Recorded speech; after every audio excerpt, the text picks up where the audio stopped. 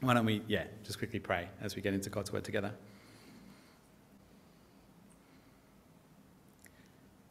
God, we thank you again for this special day and um, for the chance that we have now to come and to reflect.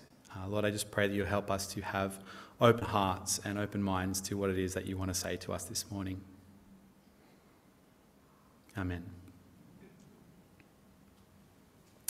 Uh, in 1946, there was another teenage boy, not me this time. Um, I wasn't there in 1946. Um, but there was a young fella by the name of Muhammad Ed Dib uh, who was walking along with his cousin Juma and his friend Khalil through some hills near the Dead Sea in the west bank of Jordan. Uh, the three young fellas were local shepherd boys. They were part of the nomadic Bedouin people uh, who were shepherding goats around the hills, around the dry country that they lived in.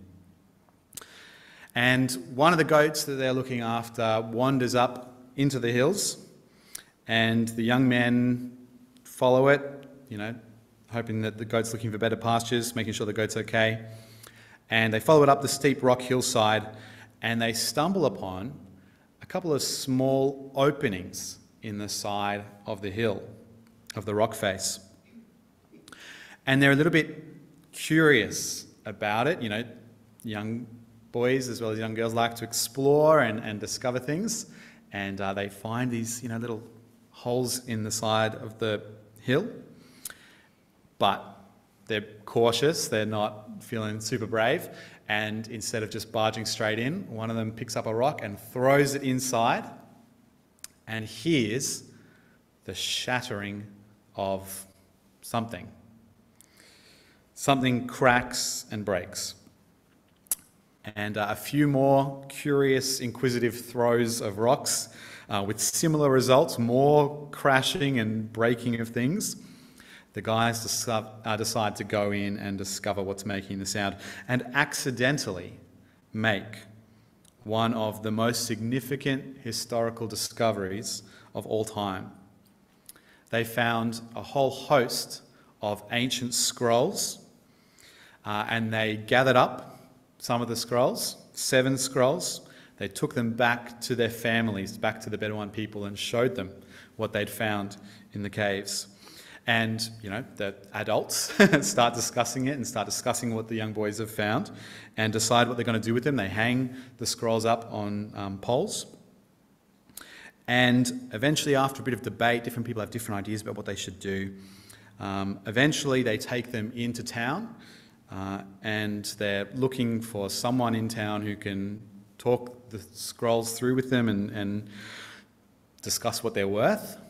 And eventually, they come to a shoe cobbler and part time antiques dealer uh, where they, who they sell them to for seven Jordanian pounds which in Aussie dollars is about 38 bucks.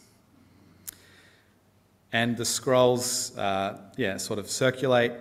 And the following year, uh, in 1947, an American researcher called John Trever came across the scrolls and kind of had a bit of a moment of, hang on, what are these? Where did these come from? Where did you get these? And after doing a bit of investigating himself and trying to track down the people who found them, sends word back to America about the discovery. And one year later, in 1948, a massive expedition has begun in the region, recovering a collection of thousands of fragments from 981 different manuscripts from 11 caves in the region. Um, and the expedition occurred over a 10 year period. And the reason that this find, that this discovery was so significant, is that these manuscripts were some of the longest surviving ancient texts in the world. Almost two and a half thousand years old, these bits of paper. It astonished people. They didn't think it was possible that these things could just be sitting in a cave in jars and have survived two and a half thousand years. And of course, very significantly, is what's actually written on the scrolls. Does anyone, don't, don't do too much interactivity at church, but does anyone know what's written on the scrolls or some of what's written on the scrolls? Anyone want to have a stab? Yeah, it's the Dead Sea Scrolls, yeah. But what, does anyone know some of what's written on them? Yeah, yeah, the Old Testament. Can pray and knows answers too. That's great. Um, yeah, the Old Testament is, is the majority of what's written. There's other texts in there as well, there's other things um, from the region, but the majority of it is the Old Testament. In fact, of the 39 books in the Old Testament, 38 of them have manuscripts here among these scrolls. Uh, here is one example. I think that's one example um, of one of the scrolls. This scroll here is called 1Q Isa A. Um, and it's also known as the Great Isaiah Scroll. It contains all 66 chapters of the book of Isaiah. You can see, um, if you were to write it in English and put it on paper, it would take up much more than that. They're much more succinct, I guess, in their writing, saves on paper. Um, the Hebrew script fits a lot more on the page than we do.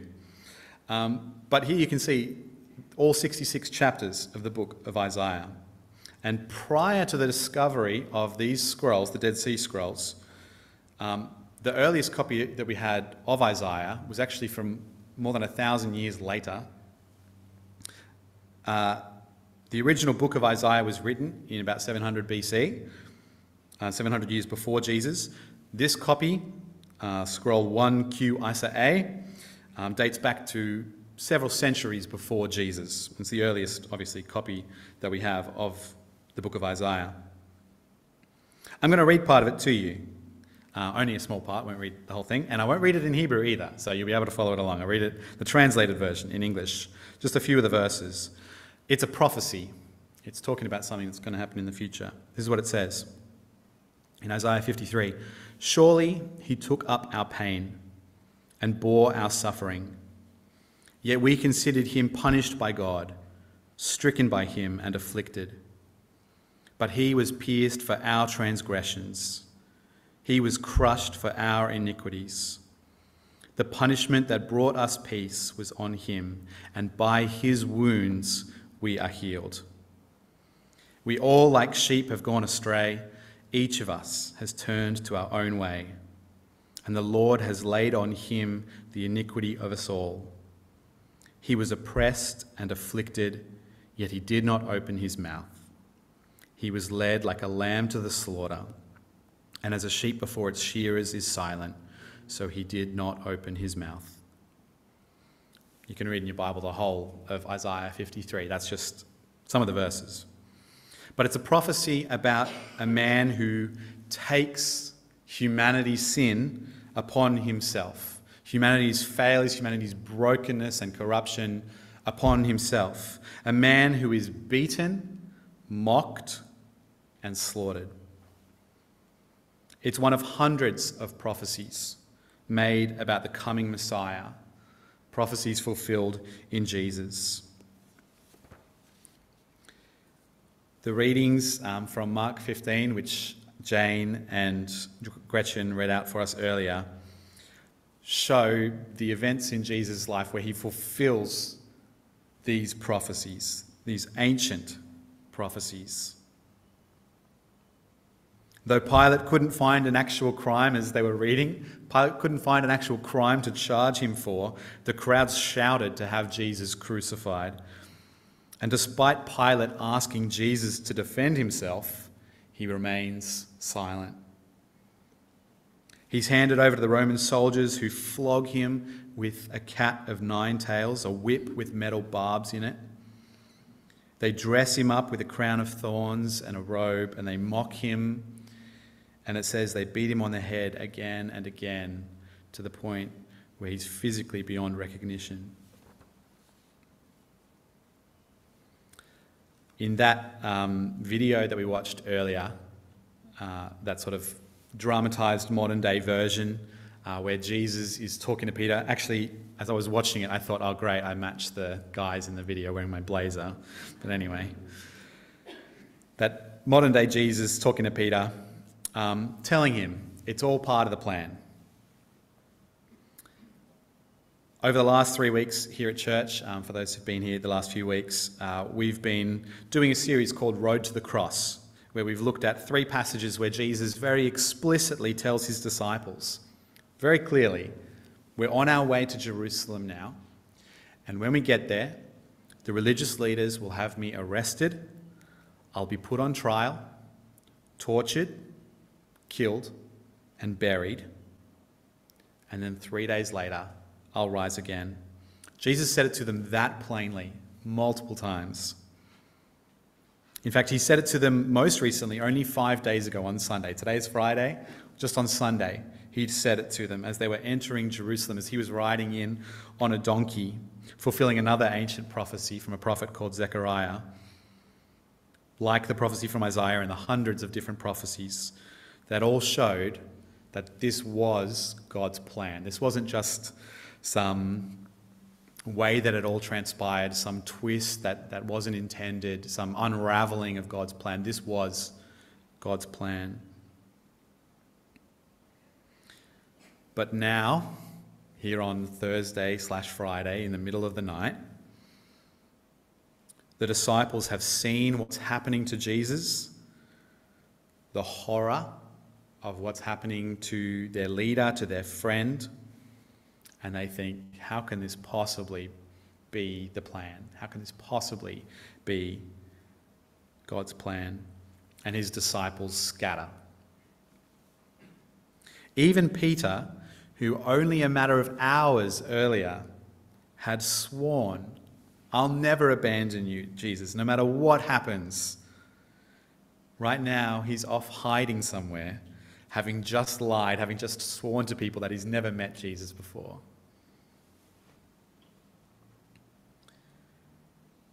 And then comes maybe the most disturbing part of all.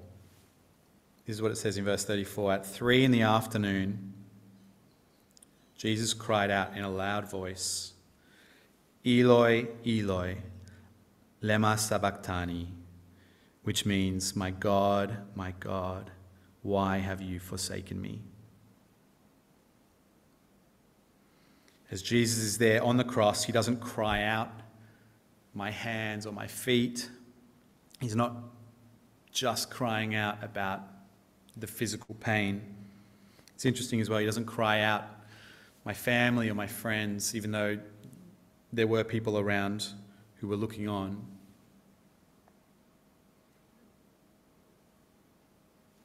We're not going to go fully into it now, but essentially the Bible teaches um, that there's one God in three persons. This, this passage can be a little confusing about Jesus being God himself, talking to God, can be a bit confusing. But essentially, the Bible teaches there's one God in three persons God the Father, God the Son, God the Holy Spirit. And so Jesus himself is God, but is distinct from God the Father. We're not going to unpack that fully right now. Happy to have that chat another time. But it's interesting here because almost always when Jesus is praying to God the Father, he always refers to him as Father or my Father. But here in this passage, he doesn't cry out, My Father, my Father. Instead, he says, My God, my God, why have you forsaken me? And out of all the narrative that we read, this moment here on the cross, I think, is one of the most significant moments in all the events of the final moments of Jesus' life. Ultimately, this line, My God, my God, why have you forsaken me? I think ultimately there's three reasons why Jesus says these words. The first reason, and maybe the most straightforward, is that Jesus is genuinely expressing his pain and agony. This isn't just a performance, this isn't a show, this is a real ordeal that Jesus is going through. The word cried out, and it says he cried out to God, that word cried out is actually a translation of a word that isn't used anywhere else in the New Testament. And it's a word that doesn't really necessarily have a straightforward English translation really, it, it doesn't just mean to say it loudly, really, it means to kind of, like a primal scream. Or I heard one commentator talk about it as like a blood curdling scream. It's unimaginable the physical ordeal that Jesus was going through. But I think it's even more than that. um, the agony that Jesus is feeling. In that moment, Jesus, God Himself, the creator of the universe, the author of life, born as one of us, is dying. The author of life is dying. And alongside the physical pain was the anguish of carrying the burdens, the failures, the injustices of all mankind on his shoulders. He bore the burden for our sins. He traded his righteousness for our transgressions. He was forsaken so that we could be forgiven. And I think a big reason why Jesus cried out these words is to express to his Father the genuine misery of abandonment and being forsaken and facing that on his own. The second reason that I think he says these words and, and the significance of these words are actually that these words are not his own. Jesus is very clearly quoting from the Old Testament, from another prophecy a prophecy in the book of Psalms, which that particular psalm is a song that was written by King David, a song which was written about Jesus a thousand years before he was born. I think I've got here a picture of a Dead Sea Scrolls again, um, a fragment of Psalm 22. And I've pulled a few verses from it. Again, you can read the whole thing, the whole thing's worth a read. But this is what it says my God, my God, why have you forsaken me? Why are you so far from saving me, so far from my cries of anguish? My God, I cry out by day, but you do not answer, by night, but I find no rest. All who see me mock me, they hurl insults, shaking their heads. He trusts in the Lord, they say. Let the Lord rescue him. Dogs surround me. A pack of villains encircles me. They pierce my hands and my feet. All my bones are on display. People stare and gloat over me. They divide my clothes among them and cast lots for my garment. Jesus, here as he hangs on the cross, is quoting the first line of this psalm, pointing people to go and see what it says. To realize that this is about him, that it was always about him. The reason that Jesus quotes this prophecy as he's hanging there on the cross is to show us again that what is happening to him is not some horrific deviation from his plan, some terrible fate forced upon him against his will. This was his plan. From the moment that mankind brought brokenness and injustice to this world, the moment that we brought pain and corruption, and, and the moment that we cursed this world, God knew that this was where it was leading. That out of his love for his children, as flawed and undeserving as we might be, he wouldn't leave us to dwell in our suffering but he would become one of us and give up his life to set us free. Jesus chose to come to earth to give his life as a ransom for mankind.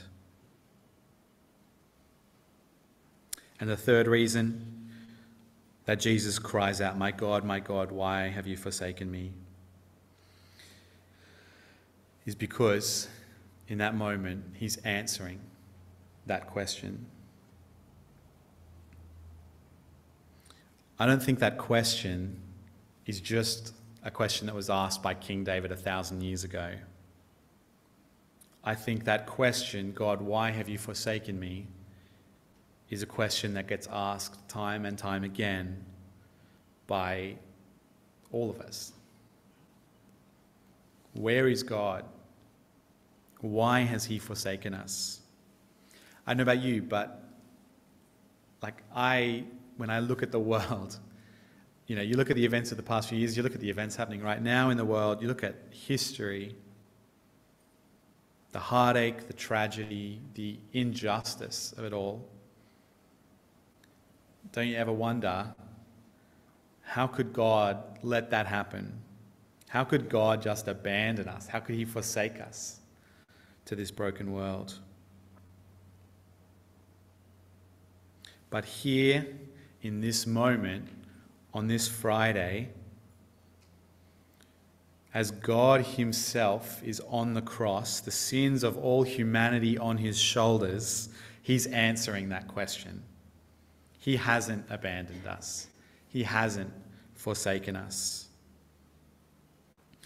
You know, this understanding of God and of sin and of the brokenness of the world is so unique to Christianity. You know, other religions really, at the end of the day, they teach that people get what they deserve whether it's karma and sort of seen from that angle, good things happen to good people, bad things happen to bad people, or whether it's just through viewing God as a God of just purely justice and that we get the punishment that we deserve or the rewards that we deserve. Either way, you know, at the end of the day, the good things happen to the good people, the bad things happen to the bad people. You read between the lines, and ultimately, if something terrible is happening to you, you're a terrible person and you deserve that. That's what every other religion teaches. And in those views, if, if there is a God, he's off somewhere balancing the scales, making sure that everyone gets what they deserve. That's, that's what God is doing, that's who God is. But the Bible says that God isn't some distant, indifferent dispenser of justice. He has shared in the deepest and darkest of human experiences. He didn't sit in heaven and just look down.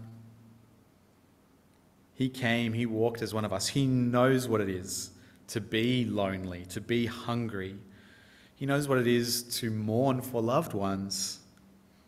He knows what it is to face betrayal, to face pain. When we see Jesus on the cross calling out, My God, my God, why have you forsaken me? In that moment, Jesus is actually answering the question I haven't forsaken you. Let me encourage you if in your life you're feeling forsaken, if in your life you're feeling abandoned, if you look at the world and, and feel like, where is God? Let me encourage you to look to the cross, to remember Jesus, who didn't stay at a distance, who shares in our grief and in our sorrow.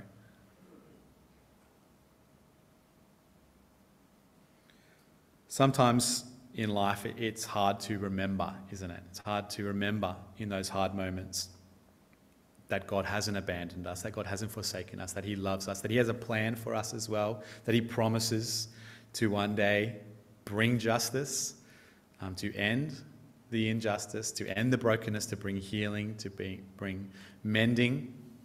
He's giving as many people time as possible to return to Him before he wraps things up. But sometimes it can be hard, can't it, to remember that. And I think that's the reason why. On the night that Jesus was betrayed, in the hours before he died, Jesus gave us something that would help us remember.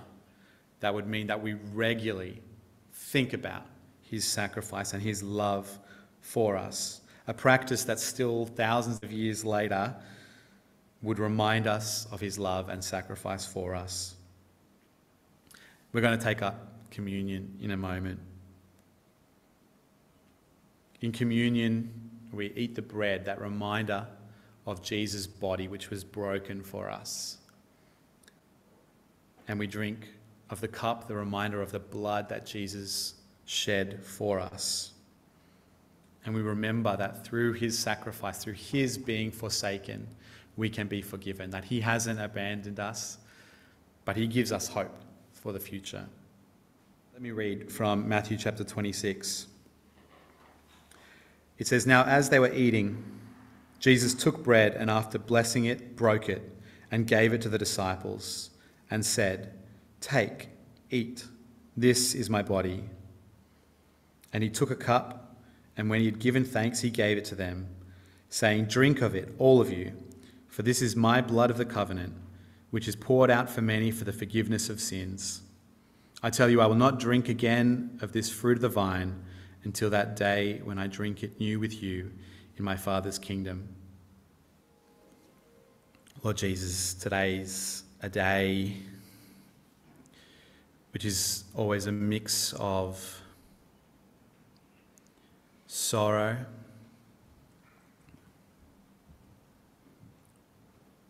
as well as a day of gratitude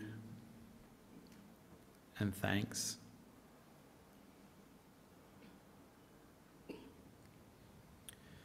God, thank you for the love that you have for each one of us as we've been reminded today through the words that we've sung, the words that we've prayed, the words that we've looked at in your word, the Bible, that you just have such a deep love for us, that you would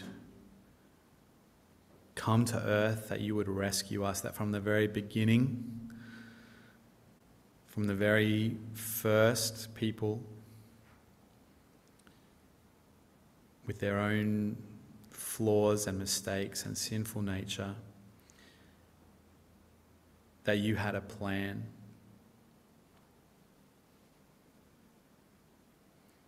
Lord, that you were not willing to let us dwell in the mire that we created for ourselves, in the corrupted and broken world that we cursed. But God, that you are so full of love for your children that you want to see us reconciled to you. You, you long to see us washed clean of our sins, restored and renewed, to be the people that we were born to be. Lord, we know that this side of eternity, uh, we're always going to be flawed. We're always going to be broken people. We're always going to be contributors to the injustice of this world. But Lord, I pray that, yeah, you would help us to be changed by your love, that we would long to be part of what you're doing in this world, of the way that you're transforming it. God, we thank you that you haven't abandoned us. We thank you that you haven't forsaken us. Lord, sometimes we struggle when we look at the injustices of the world and it just feels so wrong and so broken. And we know that you don't approve of that brokenness, that you're not the author of that brokenness, that you feel the same way that we do, and you long as well for the restoration of this world, for the restoration of your people. God, we long for the day that you will right those wrongs, that you will bring justice, that you'll bring healing.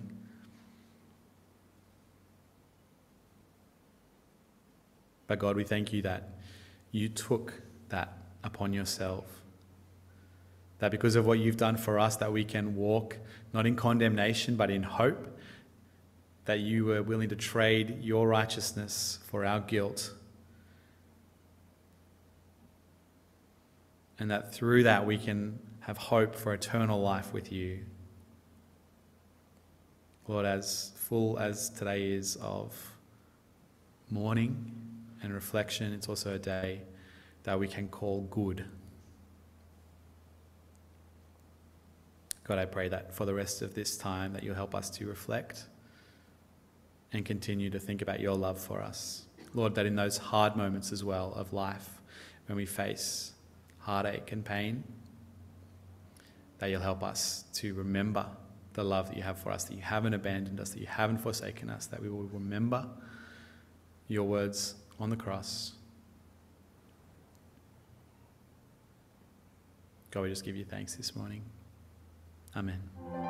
Today is the day that we remember the amazing love that God has for us. Um, but thankfully, Good Friday is only the first half of the story. Uh, come back in a couple of days um, to find out about what happens next. Um, that thankfully, um, it doesn't end with Jesus just giving up his life for us, but actually it ends with him reclaiming life and paving the way to eternal life, winning a victory over death. I won't spoil uh, the Sunday message.